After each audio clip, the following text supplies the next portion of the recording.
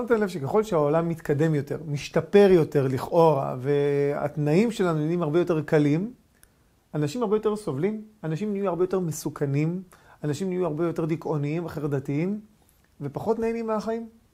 איך זה יכול להיות?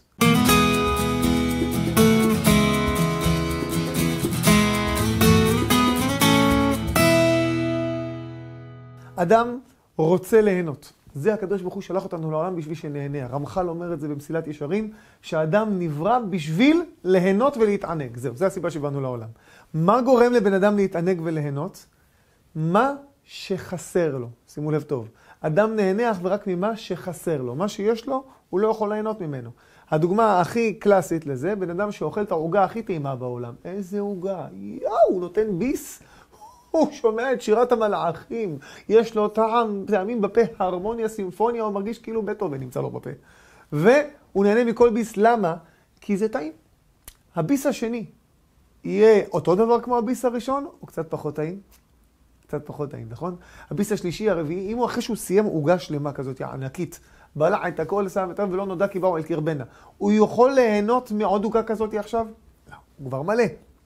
לא, רק, לא זה שהוא רק מלא. כי גם בן אדם שהוא אכל סעודה שלמה, עכשיו מפוצץ עד כאן, לא יכול להכניס עוד כלום, אכל עכשיו שווארמה, חבל על הזמן. יביאו לו קינוח, יהיה לו מקום לקינוח, לעוד משהו מתוק. רק זה, העוגה הזאת כבר לא חסרה לו. מה שהוא נהנה מהעוגה זה לא מהעוגה עצמה, אלא מזה שהיה חסר לו העוגה. אפילו כוס מים. כוס מים לבן אדם שעכשיו לפני הצום של יום כיפור שתה כבר 18 ליטר של מים, מתנדנד ככה כמו איזה חבית חבית ולא בריך. הבן אדם הזה, עכשיו, לפני שנכנס הצום, יש איזה מישהו צדיק בבית, אומר לו, תגיד לי, אתה רוצה כוס מים לפני שנכנס הצום? הוא כזה, לא, עזוב, דבר איתי עוד 25 שעות. אחרי 25 שעות מביאים לו את אותה כוס מים. איך הוא נהנה מהכוס הזאתי? יואו. לוקח את השלוק הראשון, הוא מרגיש את מפלי הניאגרה. הוא נהנה מכל שלוק. המים גרמו לו הנאה? לא. החוסר שלו ממים. אדם נהנה ממה שחסר לו. עכשיו, השאלה היא כזאת, יש מישהו מאיתנו שהיה מתנגד להיות מיליונר? יש מישהו מאיתנו שהיה מתנגד להיות בזוגיות טובה? מישהו שהוא רווק רוצה להיות נשוי? בוודאי. מי שאין לו ילדים רוצה שיהיה לו ילדים? בוודאי. מי שעני רוצה להיות עשיר? בוודאי. אבל איך הוא רוצה? הרי בן אדם רוצה רק מה שחסר לו. ואיך חסר לו להיות עשיר? הרי הוא אף פעם לא היה. איך חסר לו להיות בזוגיות, הרי הוא אף פעם לא היה בזוגיות בשביל שזה יהיה חסר לו. איך חסר לאישה הזאת שהיא כל כך רוצה ילדים, איך זה חסר לה? הרי אף פעם לא היה לה ילדים. אלא מה תגידו? טוב, הם ראו אצל אחרים. נו, אז מה, אני ראיתי אצל אחרים הרבה דברים. אני ראיתי פקירים הודים שיושנים על uh, uh, מסמרים, מה גם אני רוצה? אלא מה? פה יש יסוד, שאם אנחנו נדע את היסוד הזה וניקח אותו איתנו לחיים, וואו, זה יש, ישפר לנו את איכות החיים בעשר רמות. תקשיבו טוב. אדם חי בשתי מציאויות. מציאות אחת נקרא לה המציאות הנראית, מה שאנחנו קולטים מהסביבה שלנו על ידי חמשת החושים שלנו, איך שאנחנו מצליחים לפרש את המציאות על ידי חמשת הקולטנים האלה, שזה הראייה, השמיעה, הריח, הטעם והמישוש. זה המציאות הנראית. ויש עוד עולם שלם שאנחנו חיים אותו, ולפעמים אפילו הרבה יותר מהמציאות הזאתי, זה מציאות שנקראת המציאות הדמיונית. מה שאנחנו מדמיינים לעצמנו במשך היום. אני לא מדבר על השליש מהחיים שלנו שבו אנחנו ישנים. אני מדבר על שני השליש הערניים שלנו. בזמן שאנחנו כן ערים וכן פועלים, בזמנים האלה אנחנו חולמים ומדמיינים הרבה יותר ממה שאנחנו חיים את המציאות עצמה. שאשתך באה ומתחילה לצעוק ולהשתולל על מילה אחת שאתה אמרת לא במקום, זה בגלל שהיא דמיינה דמיונות מכל כך הרבה גדולים מסביב למה שאתה אמרת, שהיא הדביקה לך פירוש רש"י, תוספות וכל המפרשים, שמה לך על המשפט הזה שאתה אמרת, מתוך הדמיון שלה היא מגיבה לך, ולאו דווקא מתוך באמת מה שאתה אמרת. אנחנו חיים בדמיון, הרבה. שימו לב טוב. אם בן אדם עכשיו רואה משהו אצל מישהו אחר, הוא רואה מישהו עשיר, גדול, והוא אומר, וואלה, גם אני רוצה להיות עשיר. הוא לא יגיד את הגם אני רוצה להיות עשיר עד שהוא לא דמיין שהוא היה בנעליים שלו, והוא חווה בדמיון שלו את החוויה איך זה להרגיש להיות עשיר. כשהוא רואה את המשפחה הולכת ביחד עם הילדים, מחזיקים את הילדים ככה בידיים, רק אז הוא רואה את זה והוא אומר, וואי, גם אני רוצה ילדים. רק בגלל שהוא ראה את זה בעיניים. בפועל, תיכנסו לבתים שיש להם ילדים, לפחות, לפעמים זה עם ילד אחד, לפעמים זה עם עשר ילדים, לא תמיד כל כך קל להתמודד עם המציאות הזאת, ואף על פי כן אנשים מאוד שואפים לשם. למה? כי הם רואים מהצד ומדמיינים שאלה החיים הכי מאושרים שיכולים להיות בעולם. אני לא אומר שלא, זה באמת כן. אבל יש הרבה דברים שאנחנו רואים מהצד, ונראה לנו שברגע שיהיה לנו את זה, אז אנחנו נרגיש מאושרים. ואנחנו מדמיינים דמיונות שווא. אשאל אתכם שאלה. מה טעם החיים? קוקה קולה. פשוט שקוקה קולה זה טעם החיים. הרי זה כתוב על הסטיקר, זה כתוב על התווית. למה קוקה קולה זה טעם החיים? שימו לב טוב. איך פרסומת עובדת? שימו לב. הרי הפרסומאים של קוקה קולה אף פעם לא יגדירו לנו בפרסומות, לא ישימו לנו איזה מוזיקה מלנכולית כזאת, עם אווירה קשה ושחורה. בן אדם יושב דיכאוני על המיטה שלו, ככה עם איזה חתולה ככה, מעיף אותה עם הרגל מהמיטה שלו, והוא יושב ככה בדיכאון, עם בכי בעיניים, דמעות בעיניים, ואתם שומעים פתאום אה, את הקול מאחורה, כזה מוזיקה עצובה כזאת. מתי שהחיים מרים, והקול שחור אצלך בחיים, ולא הולך לך בכלום, לפחות תשתה קולה. תשמע, 14 כפיות סוכר לתוך כוס אחת, עם אספרטיים, שזה בעצם החומר הפעיל ברעל עכברים שקצת יגביר את הטעם, וחומצה זרחתית. לפחות זה ישבור קצת את העצבות והייאוש. מישהו ישתה קולה אחרי כזאת פרסומת? לא נראה לי. אלא מה? קוקה קולה עובדת בצורה כזאת. קודם כל, הפרסומת חייבת להיות תמיד מעורבת עם מוטיב של זוגיות. חייב. הרי בן אדם שואף לזוגיות, הרי אין לי טעם לחיים בגלל שהבן אדם לא נמצא בזוגיות. אז זוגיות, חייב שיהיה חברים מסביבו, אפילו יש את זה בשיר, שאתה יושב עם חברים, טה-טה-טה-טה-טה, מוזיקה כזאת מעניינת, מוציאה אותך מהשגרה, כיף, חיוכים לכולם על הפנים, מוזיקה, פצצה, נותן לך כביכול טעם לחיים המלנכוליים, העצובים האלה שגוררים את עצמנו כל יום. פתאום אתה מרגיש את האווירה הזאת, ומתוך האווירה הזאת אתה פתאום מתחיל לדמיין את עצמך, חי בעולם הזה של הפרסומת. ואם הפרסומאי הוא מספיק טוב, הוא מצליח ליצור איזושהי דמות ראשית כזאת לפרסומת, שאתה מזדהה איתה ואתה אומר, וואי, אם אני הייתי בסיטואציה הזאת, אם אני הייתי פותח את הארון הבגדים ואני רואה שכל הבגדים שלי הם כמעט לבנים ולא בדיוק לבנים, אז הפרסומת של אותה, אותו תכשיר כביסה ממש ידבר אליי. אם אני פתאום רואה את הרכב החדש הזה שמראים בפרסומת ואני מדמיין את עצמי נוסע על אותו רכב, רק אם דמיינתי את עצמי בתוכו, רק אז זה יגרום לי לרצות שיהיה לי אחד כזה. למה? כי ברגע שאני חי בתוך המציאות הדמיונית הזאת, ואני חווה את החוויה של המציאות הזאת, רק אחרי שאני אחזור בחזרה, snap back to reality, כמו שאומרים, חוזר בחזרה למציאות שלי, המציאות הנראית, פתאום זה חסר לי. הלו, איפה הקדילק? הלו, איפה הילדים? הלו, איפה אשתי? פתאום אתה מתנתק מה, מהדמיון הזה שאתה חווית אותו בתוך, בתוכך, בתוך המוח שלך, בתוך השכל, ואתה חוזר פתאום למציאות האמיתית לכאורה של החיים שלנו, המציאות הנראית, ואתה רואה שזה חסר לך, זה באמת נהיה לך חסר. בן אדם לא ירצה להיות מיליונר אם הוא לא דמיין שהיה לו מיליונים בבנק. רק הדמיון זה מה שגורם לנו לחוסרים. עכשיו שימו לב טוב. אנחנו נמצאים בעולם שאנחנו מוקפים בכלי מדיה, כל הזמן. אנחנו כל הזמן מקבלים עוד מידע ועוד מידע ועוד מידע, ולכן אנחנו כל הזמן מפתחים לעצמנו עוד חוסרים ועוד חסרים. והשאיפה שלנו להגדיל את כל מה שחסר לנו בעצם, להשיג את כל החוסרים האלה, להשיג את אותה עגלה, את אותו פלאפון חדש, את אותו בית חדש, את אותו רכב חדש, את אותו זוגיות טובה, את אותו מעמד שיש להוא בסרט. להשיג את כל זה, השאיפה הזאתי, זה בעצם מלמד על חיסרון שיש אצלנו. כל שאיפה שיש לנו זה חיסרון. כמובן, שאיפות, תגידו, רגע, זה דבר חיובי, נכון. השאלה למה? והשאלה האם אני בחרתי לשאוף לזה, או שתסריטאים טובים, או פרסומאים טובים, הכריחו אותי לרצות את זה. יכול להיות שאני רוצה להתלבש בצורה מסוימת, להתנהג בצורה מסוימת, לדבר בצורה מסוימת. אפילו אני שואף להשיג דברים מסוימים שאני בכלל, זה לא קשור לאורח החיים שלי, זה לא קשור אליי בכלל, זה לא קשור למכלול הרצונות שהיו לי עד שנתקלתי באותה פרסומת או באותו סרט, אותה סדרה או אותה תוכנית. יכול להיות שזה בכלל לא היה ברצונות שלי. והבעיה, שרוב התרבות המערבית המודרנית מלמד אותנו לרדוף אחרי הישגיות, אחרי הישגים. וככל שההישגים שלי יותר גדולים, ככה חוסרים שלי יותר גדולים. ומה קורה לבן אדם שהוא מרגיש כל כך חסר? הוא נכנס לדיכאון. הוא נכנס לחרדות, הוא נכנס לקשיים, והוא לא נהנה מהחיים.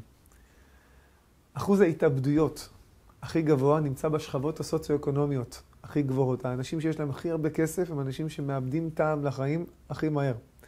וזה לא רק עניין של כסף, זה עניין שכל דבר שאנחנו לא מוצאים את המשמעות האמיתית הפנימית שלו, ואנחנו נותנים למוח שלנו לרוץ ולהסתכל יותר מדי.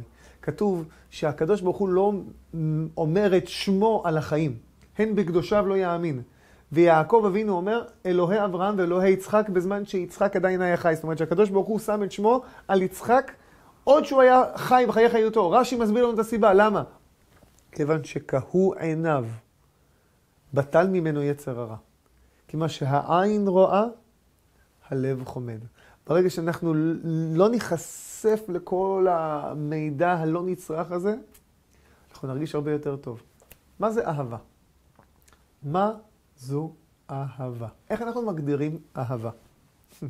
אז באמת, מי שרגיל לראות סרטים, לראות ככה את כל הדברים שמסביב, בוודאי שההגדרה שלו לאהבה זה אה, בריטני וברד, מחזיקים ידיים, הולכים לחוף הים, מוזיקת רקע, Love is in the air, everywhere look around, וואו! הוא מסתכל עליה, היא מסתכלת עליו, ציפורים ברקע, שקיעה, וואו, איזה הרגשה, הוא נותן לה חיוך, נצנוץ מעשן, והלב שלה מתפעם, היא יושבת בבית עם הפופקורן והגלידה, יואו, גם אני רוצה כזה ברד, שיחזור בתשובה בעזרת השם. בפועל, ברד גרוש חמש פעמים, בריטני גרושה שבע פעמים, כמובן לפני כל נישואים היה הסכמי ממון, בגלל שחס ושלום שהסמים לא ייקחו את כל הש... חבר'ה, כל השחקני הוליווד פשטו רגל ממזמן. פשטו רגל לא מבחינת הכסף, מבחינת החיים שלהם. רובם מתאבדים בסוף. הם לא חיים חיים כאלה טובים. אבל אנחנו נותנים להם להגדיר לנו איך נראית אהבה. ולכן יש כל כך הרבה אנשים שנשארים רווקים עד גיל מאוד מאוד מאוחר. למה? כי מבחינתם הם בנו לעצמם איזשהו סוג של תבנית שמתי שהם יכירו את האחד או את האחת, הם אמורים להתרגש כמו שהם התרגשו בסרט. מה הבעיה? שהם חיים בסרט. זה לא עובד ככה. החיים האמיתיים הם לא כאלה. החיים האמיתיים זה שאנחנו רוצים לפגוש את האחד או את האחת, אנחנו צריכים לפגוש מישהו שהכי יתאים לנו לשותפות הזאת, לנצח. אנחנו הופכים להיות שותפים לבית. אנחנו הולכים לגור ביחד יום-יום לראות אחד את השני. צריך מישהו שאנחנו נסתדר איתו. לא רק שיהיה איזה ריגוש, אלא גם שיהיה התאמה. אנחנו הולכים לגדל דור ביחד, לגדל ילדים. זה אמור להיות שותפות מטורפת, שאמורה להיות ביחד לנצח נצחים, זה חוזה נצחי. אנחנו אמורים להכיר מישהו שמתאים לנו, מתאים להשקפה שלנו, לדרך שלנו, לאו דווקא שגורם לנו לריגושים בהתחלה. אהבה זה דבר שנבנה. יש הרצאה שלנו ביוטיוב, בהידברות, שאפשר לראות, נקראת מפתחות האהבה, מדברת על כל המושג הזה של איך יוצרים אהבה, איך בונים אותה. זה משהו שנבנה עם השנים, זה לא משהו שברגע הראשון. לכן, אם אנחנו רוצים באמת ליהנות מהחיים, אנחנו צריכים לדעת. ככל שנרדוף יותר על הישגים גשמיים, ככה זה ייצור, אצלנו יותר חוסרים, וממילא יותר דיכאונות, עצבות, צער, באסה. אם אנחנו רוצים לחיות חיים טובים, אנחנו צריכים לשנות כיוון. להתחיל לשלוט על, הס... על המוח המודע שלנו. להתחיל לחשוב מה שאני רוצה ומה שאני מחליט לחשוב, ולא מה שהמדיה וכל מה שמסביבי מכתיב לי לחשוב. ואיך עושים את זה?